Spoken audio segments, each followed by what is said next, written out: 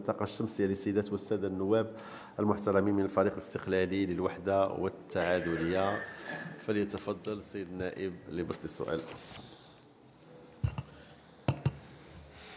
سيد الرئيس سيد الوزير المحترم ما هي الأسباب الكامنة وراء عدم إخراج مشروع طاقي نور طاطا إلى حي الوجود؟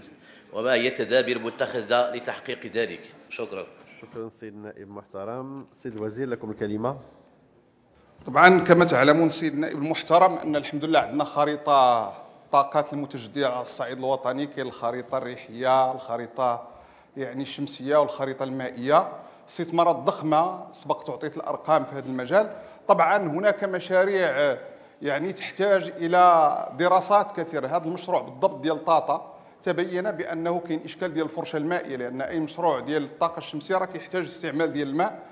ولذلك الآن دراسات الحمد لله راها جارية باش يمكن لنا ناخذوا الماء من أقرب السدود بدل من أن نستعمل الفرشة المائية وهو ضمن الخريطة ديال المشاريع من بين 2020 2030 إن شاء الله. شكرا السيد الوزير المحترم. تفضلوا السيد النائب سيد الوزير المحترم على الجواب ولكن الحاجة الوحيدة اللي بغيت لأن أنت كتعرف طاطا وزرتيها وعرفتي التأثير ديال هذا المشروع هذا اللي كان كتحلم به الإقليم. من 2015 وحنا كنا كنتظروا هذا هذا المشروع المهم. وكنا درنا مع التكوين المهني كونا الشباب دابا 1500 واحد تقريبا اللي تكون في هذا الميدان هذا وكينتظروا فرص ديال الشغل. والتأثير ديال المشروع ديال هذا هذا سيد الوزير راه مهم بزاف. التأثير الاجتماعي عرفتي واش ما كاين ما يدار في هذيك المناطق. ما كاين لا بنية تحتية لا والو. يعني إلا جا هذا المشروع الكبير راه غادي يحيل ذاك الإقليم وديك البقعة ديال اقيغان من واحد العدد ديال المشاكل. وسيدي الوزير المشروع ديال الطاقة الشمسية ديال فم الحسن اللي هضرنا عليها أنا وياك في واحد الاجتماع سابق. دابا البقعة موجودة الدراسات موجودين وكل شيء مقاد فيها ومازال ما كاين والو. ديال تاكموت سيد الوزير ديال تاكموت اللي كترعى اللي غادية مع المكتب الوطني للكهرباء الدراسات مقادين كل شيء مزيان. كيقولوا بأن راه كاينة حتى التمويل ديالها. واليوم سيد الوزير مازال ما شفنا والو.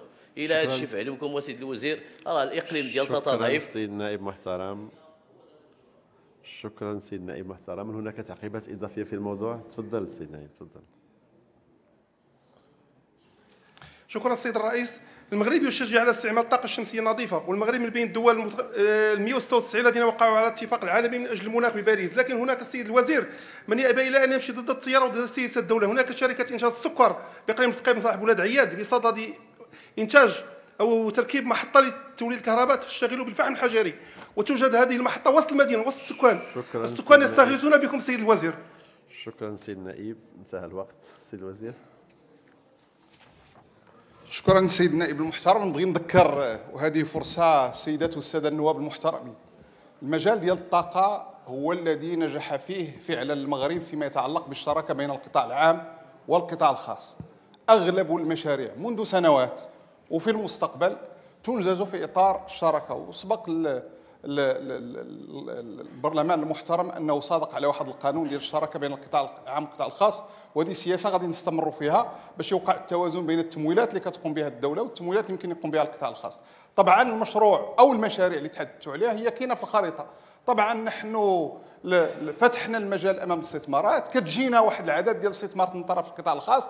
ننتظر توفر الشروط باش تجي الاستثمارات بالنسبة لطاطا إن شاء الله ونستجبوا للإخوان. فيما يتعلق باحترام البيئة اؤكد ما أشرتم إليه لما جاتني الشكاية لجنة مشات باش تشوف المشروع تعلمون باننا الآن فاتحين المجال الإنتاج الذاتي ديال الكهرباء لواحد العدد ديال المصانع ولكن لا يمكن إلا أن تكون باحترام البيئة واللجنة تشتغل على ذلك وسيفرض على المصنع المذكور احترام البيئة والمعايير البيئية فيما يتعلق بهذا المشروع اللي أشرتم إليه السيد النائب المحترم. شكرا سيد الوزير المحترم.